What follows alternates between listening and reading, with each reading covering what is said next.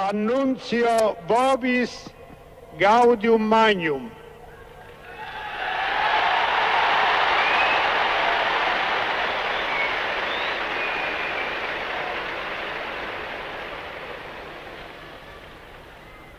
Abemus Papam.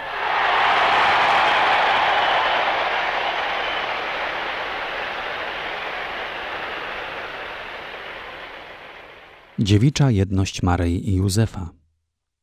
Katecheza świętego Jana Pawła II wygłoszona 21 sierpnia 1996 roku. Opisując Maryję jako dziewicę, Ewangelia świętego Łukasza dodaje, że była poślubiona mężowi imieniem Józef z rodu Dawida. Informacje te na pierwszy rzut oka wydają się sprzeczne. Trzeba zauważyć, że występujący w tym fragmencie grecki termin nie odnosi się do sytuacji kobiety, która wyszła za mąż i żyje w stanie małżeńskim, lecz do sytuacji narzeczonej. Jednak w odróżnieniu od współczesnych kultur, według starożytnego obyczaju żydowskiego, instytucja narzeczeństwa przewidywała spisanie kontraktu i zazwyczaj miała charakter definitywny. Wprowadzała bowiem narzeczonych w stan małżeński choć małżeństwo stawało się pełne dopiero, gdy młodzieniec wprowadzał dziewczynę do swojego domu. W chwili zwiastowania Maryja znajduje się w sytuacji narzeczonej. Można by postawić pytanie, dlaczego zgodziła się na zaręczyny, skoro postanowiła zostać na zawsze dziewicą. Łukasz zdaje sobie sprawę z tej trudności, ale ogranicza się do przedstawienia sytuacji bez podawania wyjaśnień. Fakt, że ewangelista ujawnia zamiar Maryi pozostania dziewicą, lecz mimo tego przedstawia ją jako oblubienicę Józefa, jest znakiem historycznej rzetelności obydwu informacji. Można przypuszczać, że w momencie zaręczyn istniało między Józefem i Maryją porozumienie co do przyszłego życia w dziewictwie. Zresztą Duch Święty, który natchnął Maryję do wyboru dziewictwa w perspektywie wcielenia – i który pragnął, by dokonało się ono w środowisku rodzinnym, sprzyjającym wychowaniu dziecięcia, mógł również sprawić, by w Józefie zrodził się ideał dziewictwa. Anioł pański, który ukazał mu się we śnie, rzekł: Józefie, synu Dawida, nie bój się wziąć do siebie Maryi, twej małżonki, albowiem z Ducha Świętego jest to, co się w niej poczęło. Otrzymuje w ten sposób potwierdzenie, że jest powołany do przeżywania w sposób bardzo szczególny drogi życia małżeńskiego. Poprzez dziewiczą jedność z niewiastą, która została wybrana, by wydać na świat Jezusa, Bóg powołuje go do współpracy w urzeczywistnieniu swego planu zbawienia.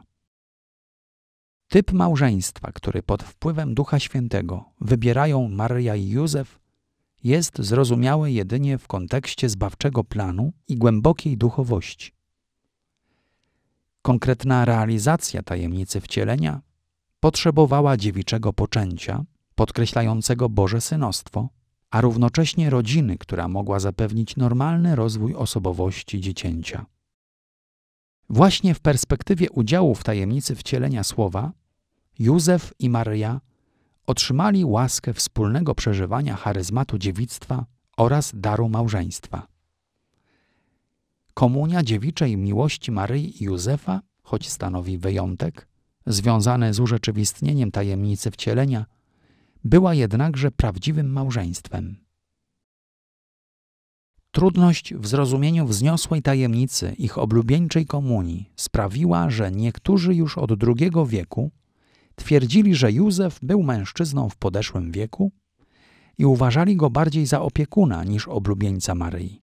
Tymczasem należałoby założyć, że nie był on człowiekiem starszym, lecz że jego wewnętrzna doskonałość, będąca owocem łaski, doprowadziła go do przeżywania z dziewiczym uczuciem oblubieńczej relacji z Maryją. Współpraca Józefa z tajemnicą wcielenia obejmuje również ojcowską opiekę nad Jezusem. Funkcję tę potwierdza anioł, który ukazując mu się we śnie, mówi mu, że ma nadać dziecięciu imię. Porodzi syna, któremu nadasz imię Jezus, on bowiem zbawi swój lud od jego grzechów. Ojcostwo Józefa, choć nie obejmowało fizycznej prokreacji, było ojcostwem rzeczywistym, a nie pozornym.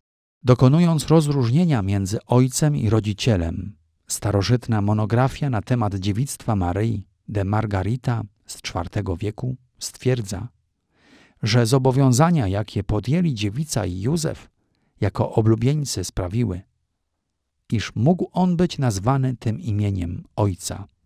Był jednak ojcem, który nie zrodził. Józef pełnił zatem wobec Jezusa funkcję ojca, dysponując władzą, której odkupiciel w sposób wolny był poddany, oraz wychowując go i ucząc zawodu cieśli. Chrześcijanie zawsze uznawali, że Józef żył w głębokiej komunii z Maryją i Jezusem i domyślali się, że również w chwili śmierci zaznał pociechy dzięki ich tkliwej obecności. Z tej trwałej tradycji chrześcijańskiej rozwinęło się w wielu miejscach specjalne nabożeństwo do świętej rodziny oraz świętego Józefa, opiekuna odkupiciela. Jak wiadomo, papież Leon XIII ogłosił go patronem całego Kościoła.